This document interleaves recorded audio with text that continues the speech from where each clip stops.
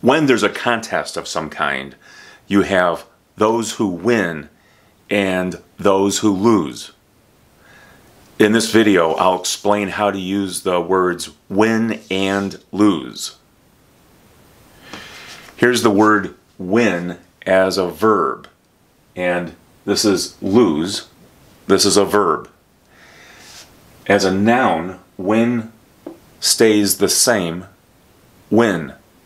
But from a verb to a noun, lose becomes loss.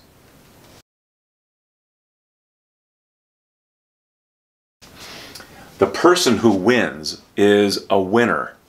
The person who loses is a loser. And here are the adjectives. Win becomes winning, and lose becomes losing.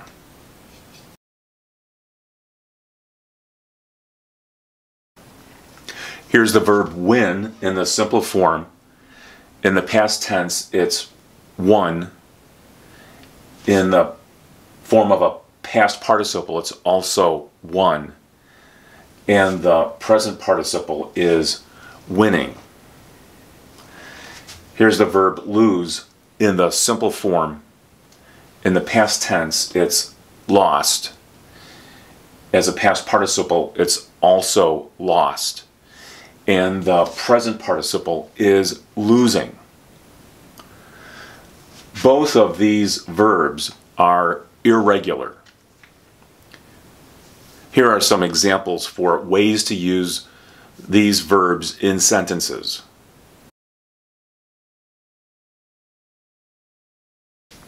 Joe Biden won the election.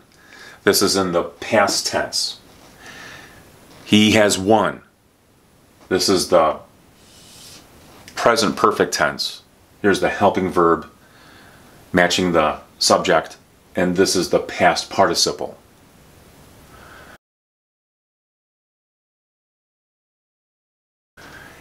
He's the winner. This is the person who won. And in this sentence, he had a winning strategy. So this is an adjective. It's the present participle and it modifies the noun strategy. Or you can say he was on the winning team or Kamala Harris was on the winning team.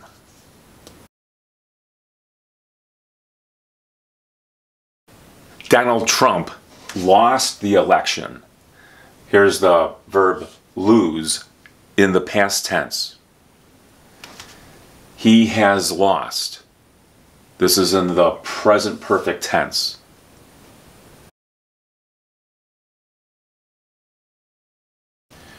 He's the loser. We use this word for the person. You can also say he's a loser. But to be more specific, use the he had a losing strategy. The word losing modifies the noun strategy. This does not mean that he intended to lose, it just means that the strategy that he had did not work.